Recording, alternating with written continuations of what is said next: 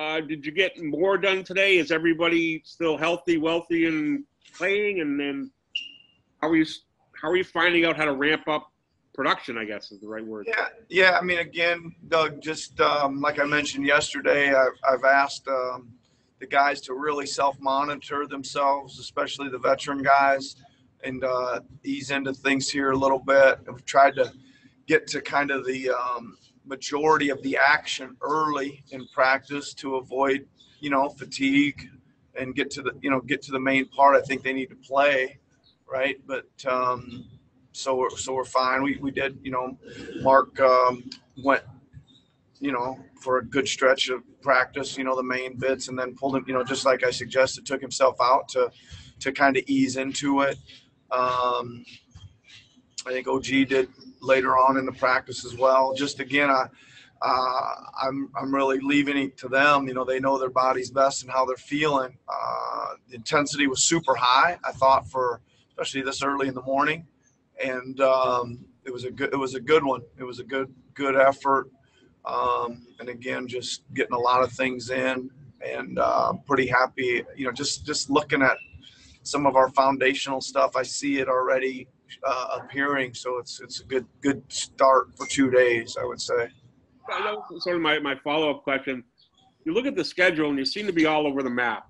One to four one day, nine to noon next day, ten to one the next day. How difficult is it to get any structure to your days with with coaching, with, with the times being so variable, understandably day to day? Um, I, you know, I don't think uh, Doug, you can't you can't expect there to be all the structure you may you may want, right? You got to kind of just accept that. I mean, I think all of us for four months have lost the rhythm of our of our lives, right? Uh, the way we probably want them to to set up. So you just kind of, you know, got to be, you know, again, open minded, adaptable, um, and just kind of take it. I mean, a three hour block of time is is a pretty pretty long time that we can usually, you know, get our stretching and corrective, some pre practice work done know, start somewhere, you know, in, in the middle of that three block time to get their main work done, and then you kind of taper out of it with some more shooting and and work. And I and I'm back. You know, you've seen us before. We're we're some of the younger guys, et cetera, kind of putting in the, the second session again just to, you know, get them those reps that they need on the defensive end and, and all that stuff. So, you know, we're trying to manage it a little bit individually, but also get a good chunk of group work done as well. Great. Thanks, Nick, very much. Appreciate it. Next, we're going to go to Tim Bontemps from ESPN. Hey, Nick, I see you out of hats. Um, you mentioned uh, you mentioned Marc practice some. Uh, he was going to talk to us today, and then he is not. And I was told you were going to explain what's going on. So I was curious if you could explain what's going on. Well, he, he did practice. Um, like I said, the good good portion of the first bit. Um, took himself out. We actually got started pretty early today, um, and he just he just they just decided to get him get him a early ride back instead of sit around for the next whatever. One of the things getting back and forth, you got to kind of hang out a little bit. And since he was since he was done already, they just gave him a gave him a quick ride back. Is all, Tim. Well, that's a much better answer that the Raptors could, PR could have just said instead of making it seem ominous. I'll give Rovan a hard time for that. Uh, along those along those lines, uh, other teams, you know, I know the Celtics have said they're going to kind of ease Kemba in um, and, and, kind of slowly build him up. Obviously, Marc has dealt with hamstring injuries, injuries a lot of the year. Is is it going to be kind of a similar thing with him, where you guys kind of slowly make sure that he kind of ramps up on a, a kind of a steady trajectory over the next few weeks to get ready for the playoffs and not risk trying to rush him back too quick? Yeah, and I mean, I think Tim, uh, yes is the answer to your question, and I think there'll be you know, for, for some of these guys, I, I mean, I think fatigue usually factors into these things, and and um, it's a little similar kind of sometimes when you're with the national teams. You know, you, you go hard for a few days, and then you might you might just pull guys out and start kind of sprinkling in some days off around the board. And Marc's certainly a candidate for that. Uh, obviously, you know, uh, I would even put Pascal, OG, Freddie, you know, uh, Kyle in that group too um, Serge, you know, that, that will probably, you know, again, monitored individually, but, but almost almost mandate some days off in, in, in there again, just to let them, their bodies kind of regroup, you know, for a, for a full day and, and recharge and then come back as we, as we go here early. Thanks, sir. You're welcome. Going to go next to Michael Grange from Sportsnet. Hey, Nick. How are you? Fantastic, Michael. How are you? Better and better every day, my friend. Um, as, as Timmy pointed out, Marc is coming off a very long season, both internationally and with you guys last year, and had hamstring injuries this year. We've all seen the Instagrams and the ripples and all the good stuff. Is he 100%? Like, is his hamstring uh, like perfect? Like, is he put behind any of those issues that were plaguing him through the year? Uh, I mean, as far as I'm aware, Michael, yeah, he's he's fully healed, and and as you know, he looks great. Um, his skill skills look fantastic as well. Uh, looks like he's in good shape.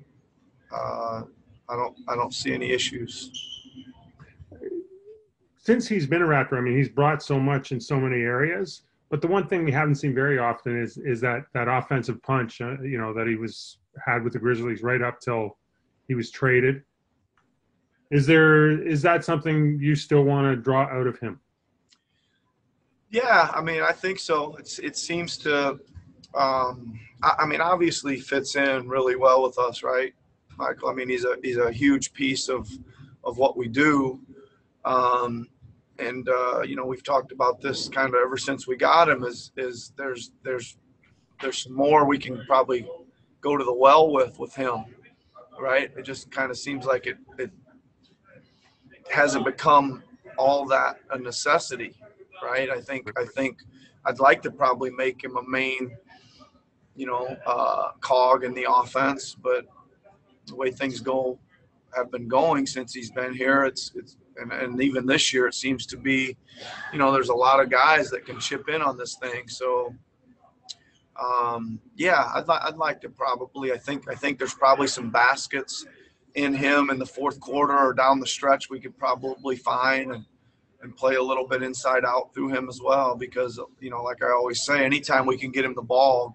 good things happen not necessarily buckets from him but good things happen but it'd probably be good to see if we get his usage rate up again uh, i'm working on it i'm not i'm not sure it's going to happen but it is a it is a thought a thought in the in the forefront of what we're doing Have you asked him about his uh, like his fitness and, and what motivated? I mean, obviously he was in pretty good shape. You know, he he is very professional that way. But but why? Uh, what his purpose was in, in what he's done? It seems since he since he's been off. Well, I didn't. I didn't ask him what his purpose was. I, I would imagine his per, just guessing his purpose is, is you know he's trying to you know get in shape, play at his highest level, and continue to, to get better as a player.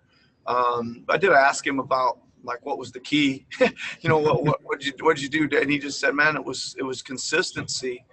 You know, it was just it was just uh, again with the situation we've all been in in the last four months you know, you take out all the games and you take out all the long road trips and the late night flights and you know all the things that factor in, you know, making um, fitness and nutrition a little harder, and take all those out. And he just said it was a consistent, you know, rhythm, eating at the same time every day, and and eating eating very healthy, obviously, and and all that stuff. So that's all we discussed, though. Just that. So we're all. Uh, so we have no excuses then. Okay. we we haven't had any for for the last few months. That's for sure. Thanks, Nick. You're welcome. And last question is going to Mike Ganter from the Toronto Sun. Hey Nick, how you doing? Hi, Mike. I'm great. Good. Um, just curious. You've been out of quarantine for about 24 hours or whatnot now. What have you had a chance to look around the campus, and what are your impressions? And on top of that, what are your impressions of the of the food so far? Because it's been a big topic of discussion on Twitter. well, um, let's see here. I have not been out to look around. I did. I did. Um, I did take the outside path down to the to the mealroom last night, but that was just right along the same hallway. That was as far as I ventured ventured outside. I'm I'm not planning on doing much looking around, to be honest with you. Uh, I'm I'm good with with working and and getting back to the room, to be honest with you. And the food has been a great help for me. Trying to cut a few, and it's been uh, right up right, right fit, fitting right in with that plan. So all good, all good. All right. Appreciate that, Nick. Thanks. You're welcome.